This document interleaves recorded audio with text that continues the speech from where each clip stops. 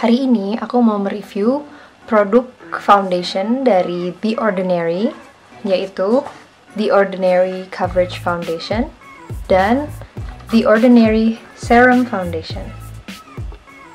Di sini aku punya um, coverage foundation yang shade 1.2 YG, terus yang serum foundation aku punya yang 1.2 Y.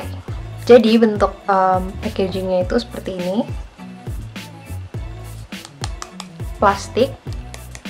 Terus um, untuk keluarin produknya tinggal diputer. Terus kalian tekan. Yang ini adalah yang coverage foundation. Teksturnya seperti itu Nah, selanjutnya ini untuk yang serum foundation.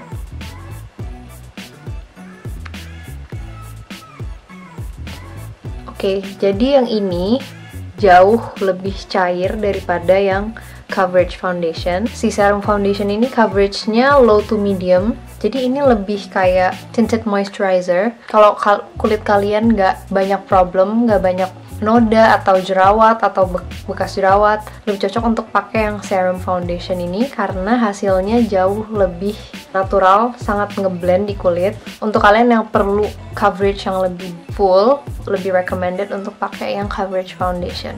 Sama seperti produk The Ordinary yang lain produk makeupnya ini si foundation foundation ini juga tidak mengandung pewangi jadi menurut aku aman untuk dicoba untuk semua jenis kulit, even yang sensitif sekalipun bisa untuk coba produk ini. Dan sekarang waktunya untuk coba di muka. Ini aku memang sengaja nggak pakai apa-apa untuk supaya lebih jelas kelihatan. Kita coba yang coverage foundation dulu. Aku akan coba coverage foundation di sini dan yang serum foundation di sini.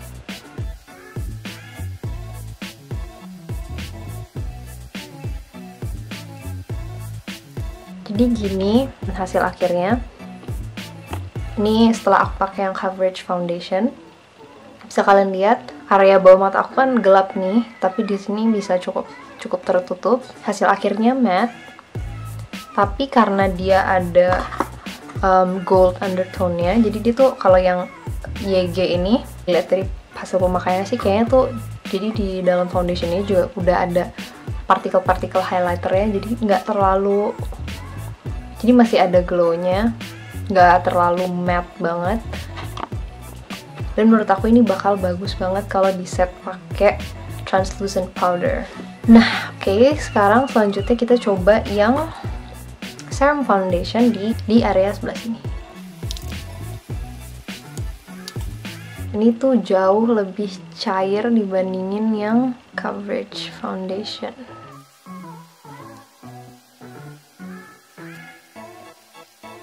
jadi seperti ini hasil akhirnya yang serum foundation. Shade 1,2Y kalau dibandingin sama yang ini yang ini tuh nggak terlalu cover. Under eye aku yang gelap ini nggak terlalu ke cover.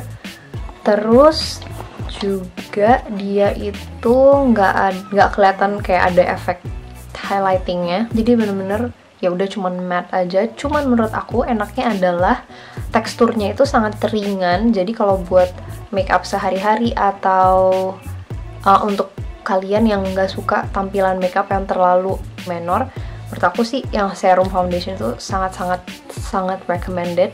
Menurut aku dua-duanya bagus cuman tinggal kalian sesuaikan aja dengan um, kebutuhan kalian. Misalnya kalian maunya yang coveragenya full, berarti lebih baik kalian beli yang coverage.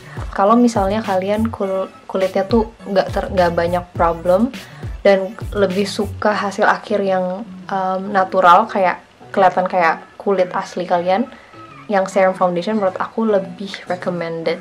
Sekian review kali ini. Um, semoga kalian terbantu. Jangan lupa like, dan subscribe ke channel Pony Beauty. Bye bye, see you on the next video.